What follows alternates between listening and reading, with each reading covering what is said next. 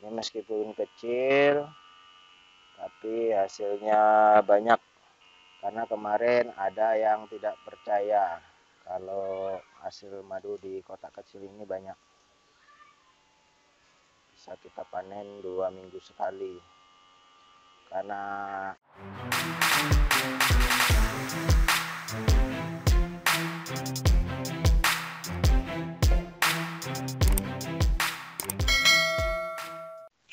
Assalamualaikum warahmatullahi wabarakatuh. Ketemu lagi di channel info lebah trigona.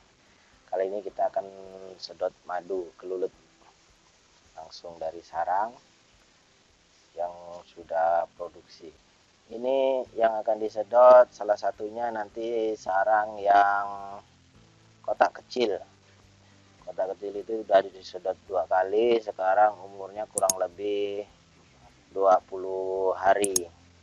Jadi akan kita akan melihat berapa hasilnya berapa liter. Kita akan coba lagi nanti.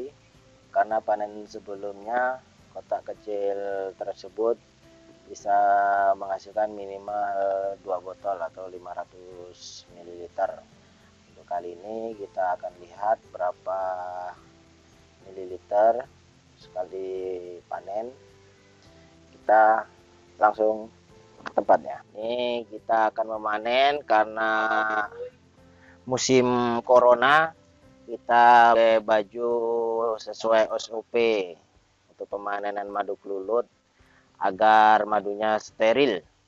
Jadi kita eh, menggunakan baju khusus untuk manen. Ini efek dari virus corona jadi segala sesuatunya harus steril kita sudah menggunakan baju gunakan sarung tangan. Nah. Jadi semuanya harus steril. Ini madunya tidak tersentuh oleh tangan jadi untuk kebersihannya higienisnya lebih terjamin menggunakan sarung tangan karet. Sarung tangan sudah terpasang. Peralatannya sudah disiapkan.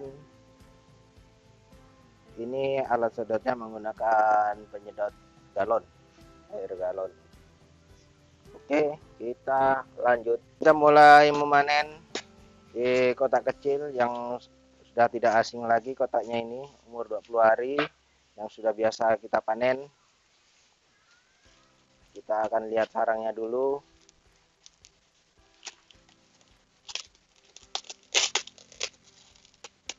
Penuh sarangnya. Jadi musim corona manennya harus steril. Pakai baju komplit sesuai SOP sebelum kita sedot kantong-kantong madu dilubangi dulu.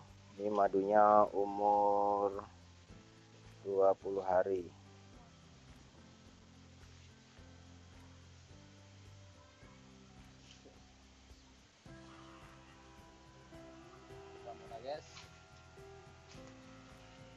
Ini koloninya sehat banyak. Kita bisa dilihat di corongnya.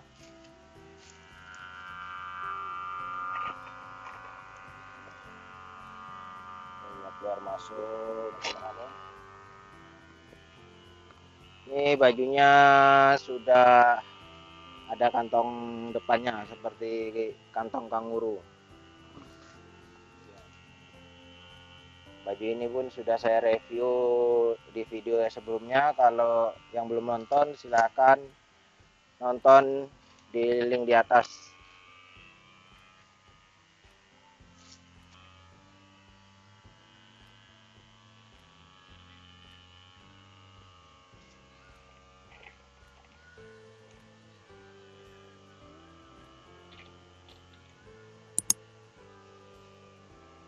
sarangnya penuh.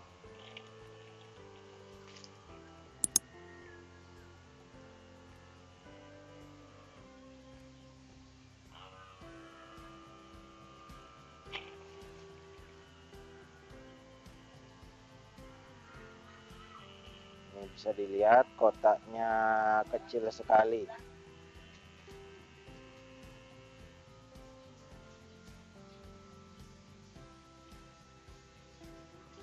tentu kalau yang sudah subscribe channel info lebah trigona ini kotak ini sudah tidak asing lagi karena sudah sering dipanen. Ini meskipun kecil tapi hasilnya banyak. Karena kemarin ada yang tidak percaya kalau hasil madu di kotak kecil ini banyak bisa kita panen dua minggu sekali. Karena ada kesibukan jadi pemanennya jadi molor 20 hari baru dipanen lagi.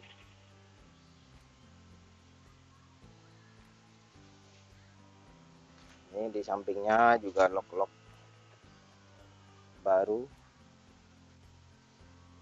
Masih belum dirapikan baru dibuat kotak nantinya juga akan dirapikan. Ini keuntungan baju ini kita tidak perlu lagi megangin penyedotnya. Tinggal disimpan di kantong.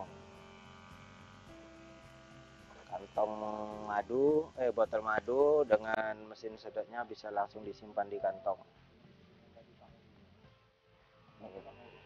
Baju kanguru bisa juga disebut baju kanguru karena memiliki kantong kangurunya di depan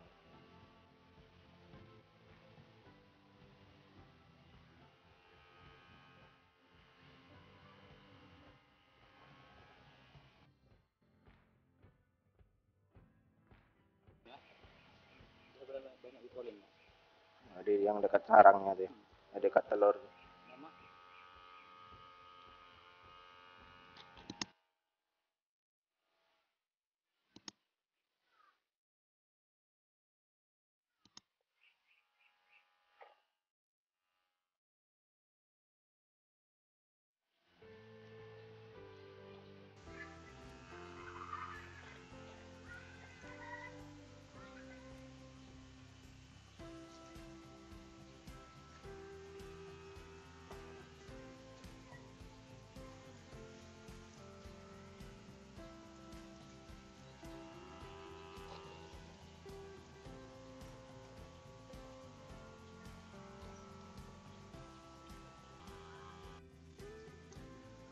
Oke, penyedotan udah selesai. Ini susah ketimpa sarang-sarang jaring-jaringnya.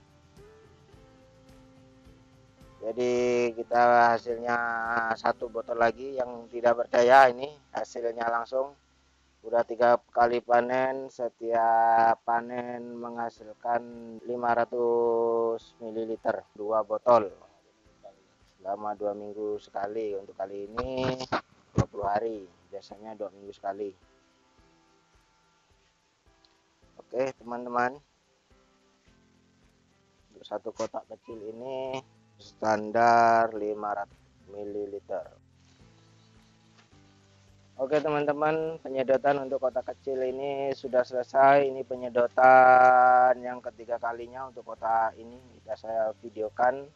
Hasilnya masih konsisten. Kita panennya 500 ml oke.